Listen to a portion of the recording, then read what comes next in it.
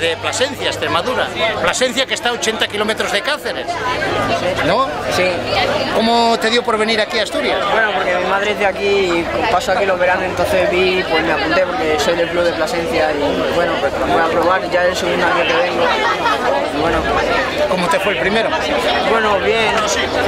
Y es que, Sí, por lo menos la terminé. Sí, por lo menos la terminé, no se veía nada, pero sí, fue bien. Yo pienso que más que el ganar o perder es la experiencia que coges, ¿no? Sí, es más, más que ganar a mí no me importa, a mí lo que me importa es participar en una competición en la que haya mucha más gente. Y bueno, está bien, es una experiencia muy bonita. Bueno, pues que tenga suerte, ánimo. ¿Quieres decir algo? Le- Algunas palabras a presencia. Entre- eh, oye, entrenas mucho, entrenas mucho. Bueno, entreno dos veces a la semana, 4.000, 5.000 metros. Y que la alimentación la cuidas y eso, o comes de todo lo que te da la No, gana, como de todo. Sí, ¿no? Bueno, y tienes hambre a todas las horas, ¿no? Sí. Porque- si chaval joven. Tiene que, tiene que comer porque tiene que crecer, no me fastidies. No, lo que no vamos a poner en un régimen, además con estos cuerpos necesite medir un 80 y de Plasencia tiene que comer mucho. Bueno, suerte y un saludo a Plasencia, ¿no? Un saludo. Buenos señores. Botella, que ya no- ya-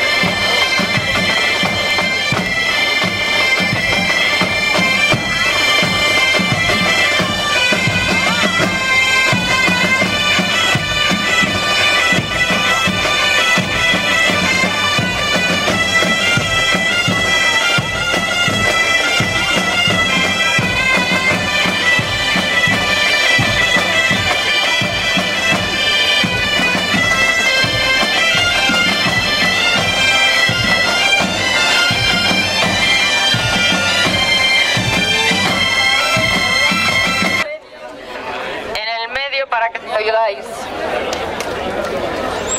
A ver, vamos a hacer esto con calma para que dé tiempo para que oscurezca todavía un poquitín más, ¿vale? Como el agua supongo que va a estar fría, aunque yo os pase lista, no hace falta que os metáis para el agua.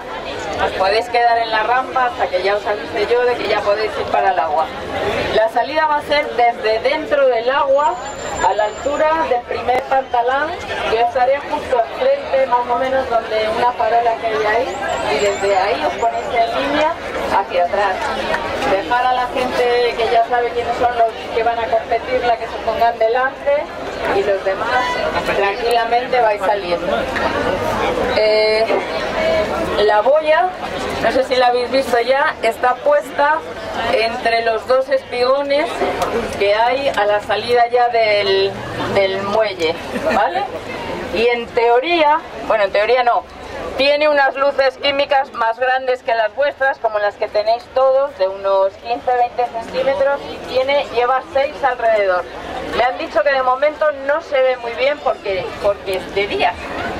Por eso quiero, queremos que esperemos un poco a que sea de verdad una travesía nocturna. ¿Vale? El arco de meta, que está ahí detrás de la rula, le hemos puesto también dos barritas de luz fluorescentes, como las que lleváis vosotros, pero más grandes, para que tengáis una pequeña orientación. Tampoco sabemos muy bien cómo se van a ver, pero yo creo que algo se van a ver seguro, espero que bastante. ¿Vale? A medida que vaya pasando lista, tenéis que poneros todos la barrita y hacer posible de forma, de forma horizontal, de forma horizontal en la cabeza. ¿eh? Los que todavía no la lleven puesta tienen que romperla bien, agitarla y ponérsela de forma horizontal en la cabeza.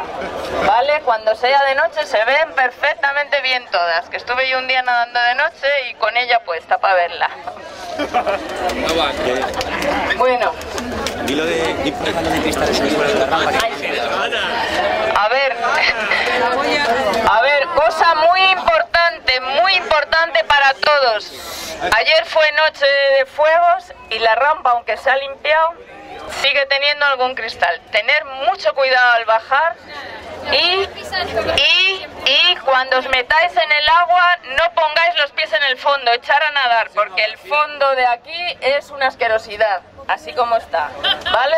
Resbala, bueno. Que, ¿Vale? que resbala la parte baja, resbala muchísimo. Vale. Y que resbala, me están diciendo también, que casi, que, que porque está bajando la marea. Habíamos puesto la hora a las nueve y media porque la marea está bajando mucho y entonces eh, eso es uno de los problemas, que las que entonces las rampas resbalan mucho. En la llegada va a pasar igual, tener cuidado en la llegada. Hemos puesto la, la llegada de Championship muy cerca del agua para que no tengáis que correr, pero aún así la llegada está puesta a vuestra izquierda según vais nadando a la izquierda.